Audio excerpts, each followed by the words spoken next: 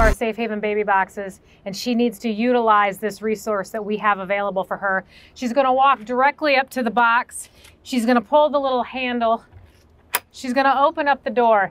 As soon as this door is opened up, one of the alarms is already going off. It's a silent alarm that mom will not hear. When she places baby inside the box, another alarm goes off that she will not hear. When she shuts the door, she won't be able to reopen the door. The door actually locks once baby's placed inside. The baby can only be retrieved from the inside of the fire station, or in this case, the inside of the hospital. Inside, you'll see a green light that is always green if the, there is no baby in our box.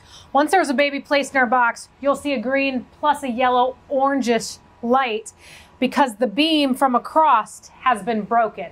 After mom places her baby in one of our Safe Haven baby boxes, one of the staff or the EMTs or the paramedics or the nurses will come down to the baby box. They're going to open the inside door. They're going to grab the bassinet and they're going to head for the emergency room.